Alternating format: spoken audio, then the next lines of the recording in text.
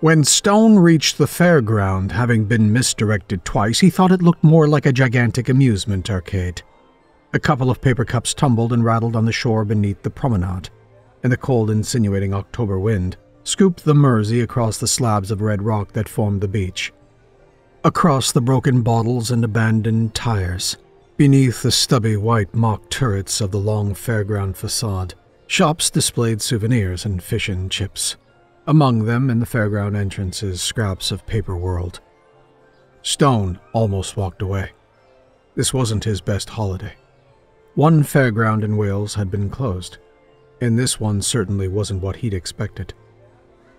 The guidebook had made it sound like a genuine fairground. Sideshows you must stride among, not looking in case their barkers lured you in.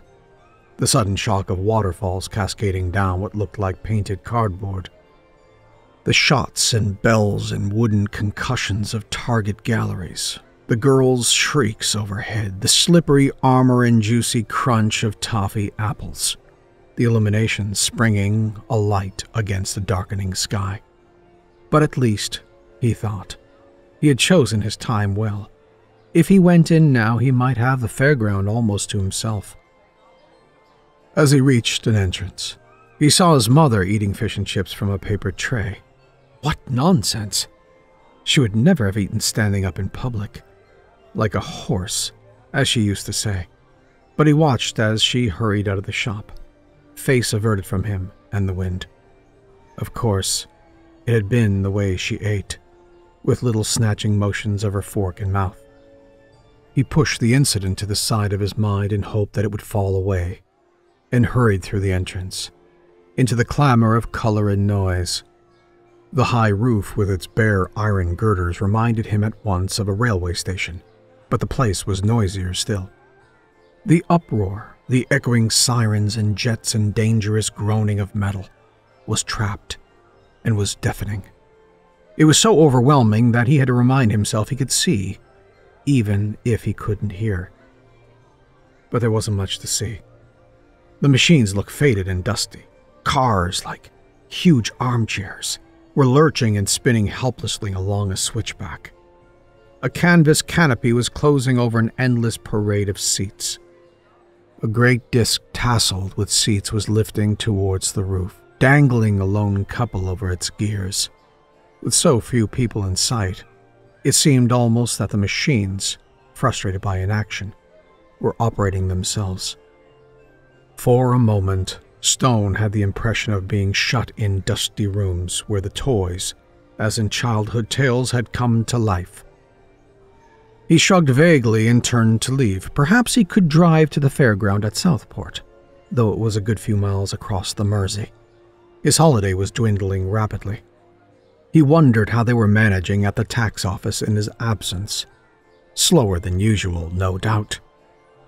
Then he saw the merry-go-round it was a toy, forgotten by another child and left here, or handed down the generations. Beneath its ornate scrolled canopy, the horses rode on poles, towards their reflections in a ring of mirrors. The horses were white wood or wood painted white, their bodies dappled with purple, red, and green, and some of their sketched faces, too.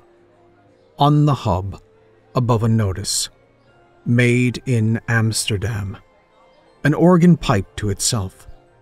Around it, Stone saw carved fish, mermen, zephyrs, a head and shoulders smoking a pipe in a frame, a landscape of hills and lake, an unfurling perched hawk. Oh, yes, Stone said. As he clambered onto the platform, he felt a hint of embarrassment, but nobody seemed to be watching. Can you pay me? said the head in the frame. My boy's gone for a minute. The man's hair was the color of the smoke from his pipe. His lips puckered on the stem and smiled. It's a merry-go-round, Stone said. You know about them, do you? Well, a little. The man looked disappointed, and Stone hurried on. I know a lot of fairgrounds. They're my holiday, you see, every year. Each year I cover a different area. I may write a book. The idea had occasionally tempted him, but he hadn't taken notes, and he still had 10 years to retirement, for which the book had suggested itself as an activity. You go alone every year. It has its merits. Less expensive, for one thing. Helps me save. Before I retire, I mean to see Disneyland in Vienna. He thought of the big wheel, Harry Lime, the earth falling away beneath. I'll get on, he said. He patted the unyielding shoulders of the horse and remembered a childhood friend who'd had a rocking horse in his bedroom. Stone had ridden it a few times, more and more wildly when it was nearly time to go home. His friend's bedroom was brighter than his, and as he clung to the wooden shoulders, he was clutching the friendly room, too.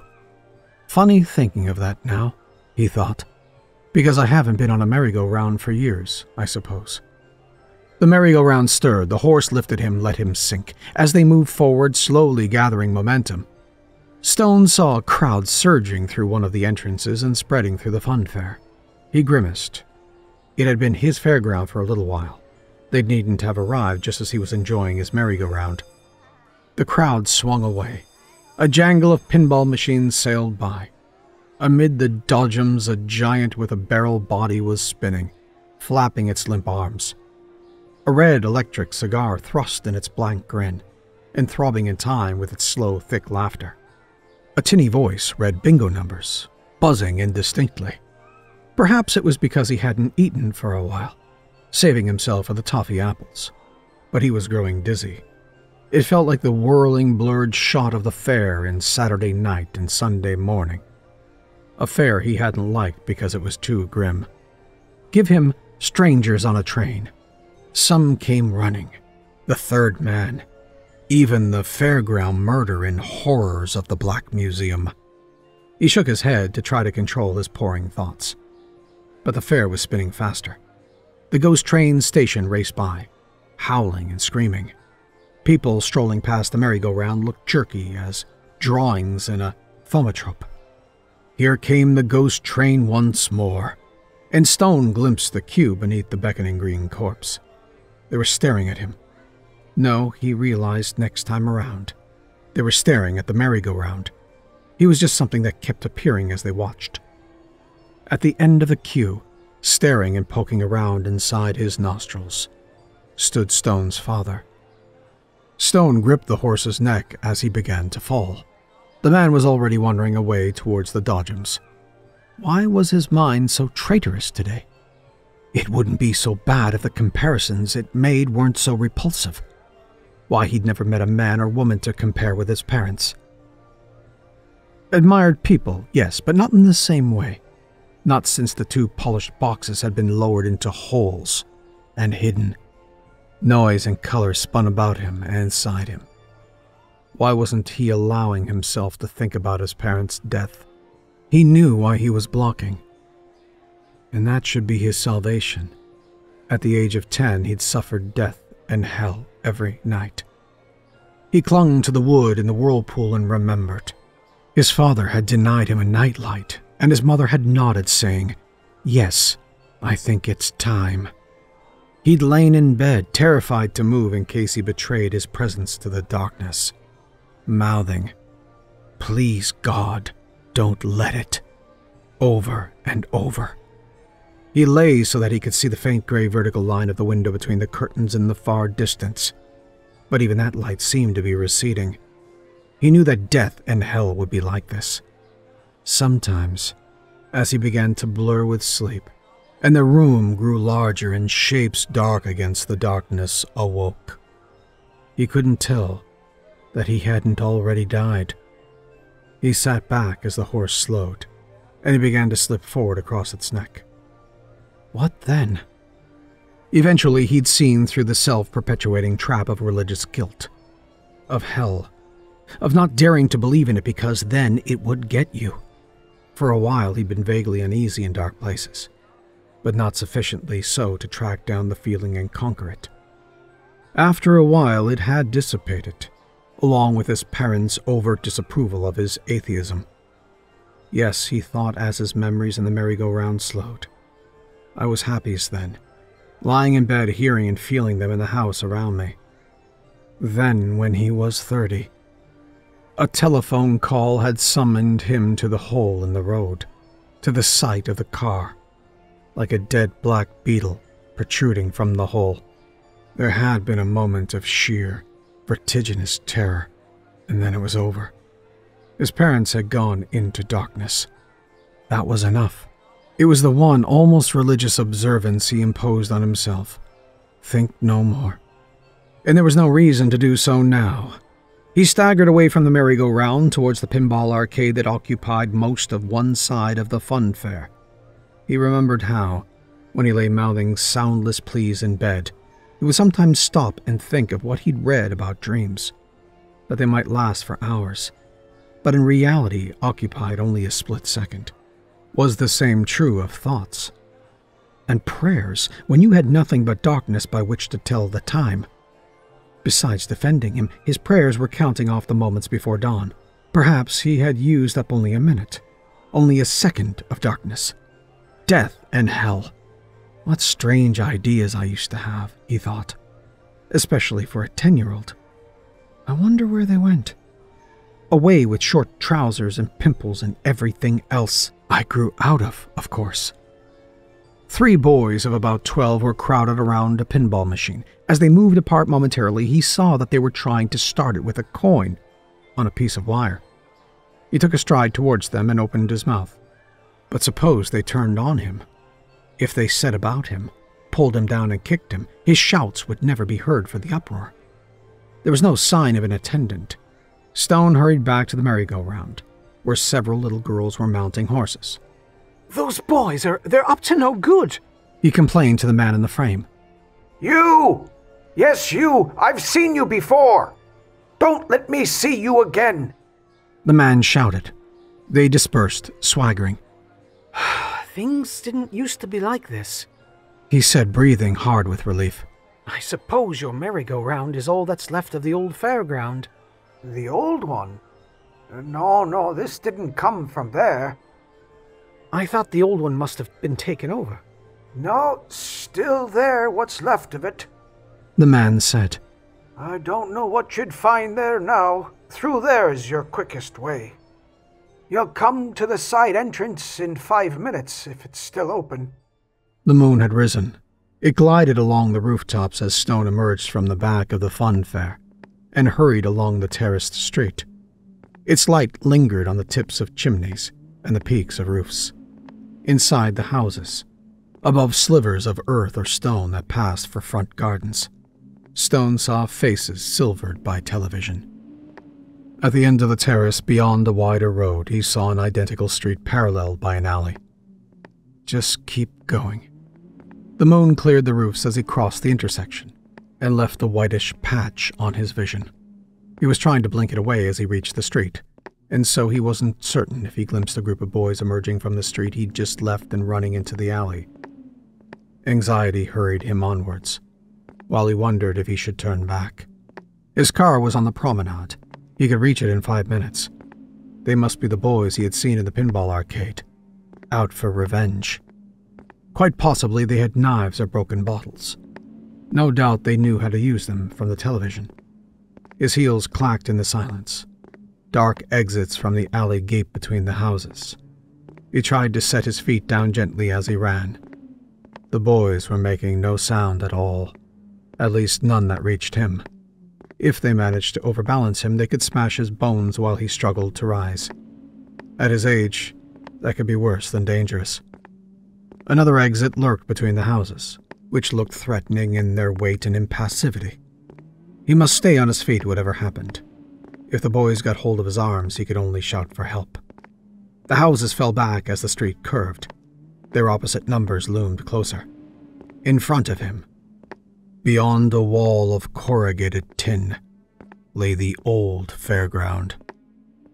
He halted, panting, trying to quell his breath before it blotted out any sounds in the alley, where he had hoped to find a well lit road to the promenade. Both sides of the street ended as if lopped, and the way was blocked by a wall of tin. In the middle, however, the tin had been prized back like a lid, and a jagged entrance yawned among the sharp shadows and moonlit inscriptions. The fairground was closed and deserted. As he realized that the last exit was back beyond the curve of the street, Stone stepped through the gap in the tin. He stared down the street, which was empty but for scattered fragments of brick and glass. It occurred to him that they might not have been the same boys after all. He pulled the tin to behind him and looked around. The circular booths, the long target galleries, the low roller coaster, the ark in the crazy house, draped shadow over each other, emerged with the dimness of the paths between. Even the merry-go-round was hooded by darkness hanging from its canopy. Such wood as he could see in the moonlight looked ragged, the paint patchy. But between the silent machines and stalls, one ride was faintly illuminated. The ghost train. He walked towards it. Its front was emitting a pale green glow which at first sight looked like moonlight but which was brighter than the white tinge the moon imparted to the adjoining rides. Stone could see one car on the rails, close to the entrance of the ride. As he approached, he glimpsed from the corner of his eye a group of men, stall holders presumably, talking and gesticulating in the shadows between two stalls. So the fairground wasn't entirely deserted. They might be about to close but perhaps they would allow him one ride. Seeing that the ghost train was still lit, he hoped they hadn't seen him using the vandal's entrance. As he reached the ride and realized that the glow came from a coat of luminous paint, liberally applied but now rather dull and threadbare, he heard a loud clang from the tin wall. It might have been someone throwing a brick, or someone reopening the torn door. The stalls obstructed his view, he glanced quickly about for another exit but found none. He might run into a dead end. It was best to stay where he was. He couldn't trust the stall holders. They might live nearby. They might know the boys, or even be their parents. As a child, he'd once run to someone who had proved to be his attacker's unhelpful father. He climbed into the ghost train car. Nothing happened. Nobody was attending the ride. Stone strained his ears. Neither the boys, if they were there, nor the attendants seemed to be approaching. If he called out, the boys would hear him. Instead, frustrated and furious, he began to kick the metal inside the nose of the car. Immediately, the car trundled forward, over the lip of an incline in the track, and plunged through the ghost train doors into darkness. As he swung round an unseen clattering curve, surrounded by noise in the dark, Stone felt as if he had suddenly become the victim of delirium. He remembered his storm-racked childhood bed and the teeming darkness pouring into him. Why on earth had he come on this ride? He never liked ghost trains as a child, and as he grew up, he had instinctively avoided them. He'd allowed his panic to trap him. The boys might be waiting when he emerged. Well, in that case, he would appeal to whoever was operating the ride. He sat back, gripping the wooden seat beneath him with both hands, and gave himself up to the straining of metal, the abrupt swoops of the car, and the darkness. Then, as his anxiety about the outcome of the ride diminished, another impression began to trickle back. As the car had swung around the first curve, he glimpsed an illuminated shape. Two illuminated shapes, withdrawn so swiftly that he'd had no time to glance up at them. He had the impression that they had been the faces of a man and a woman, gazing down at him. At once they had vanished into darkness, or been swept away by it. It seemed to him, for some reason, very important to remember their expressions. Before he could pursue this, he saw a grayish glow ahead of him. He felt an unreasoning hope that it would be a window, which might give him an idea of the extent of the darkness. But already, he could see that its shape was too irregular. A little closer and he could make it out. It was a large, stuffed gray rabbit with huge glass or plastic eyes, squatting upright in an alcove with its front paws extended before it. Not a dead rabbit, of course, a toy. Beneath him, the car was clattering and shaking. Yet he had the odd notion that this was a deliberate effect, that in fact the car had halted and the rabbit was approaching or growing. Rubbish, he thought. It was a pretty feeble ghost, anyway. Childish. His hands pulled at the splinters on the wooden seat beneath him. The rabbit rushed towards him as the track descended a slight slope. One of its eyes was loose, and whitish stuffing hung down its cheek from the hole. The rabbit was at least four feet tall. As the car almost collided with it before whipping away around a curve, the rabbit toppled towards him, and the light that illuminated it went out. Stone gasped and clutched his chest.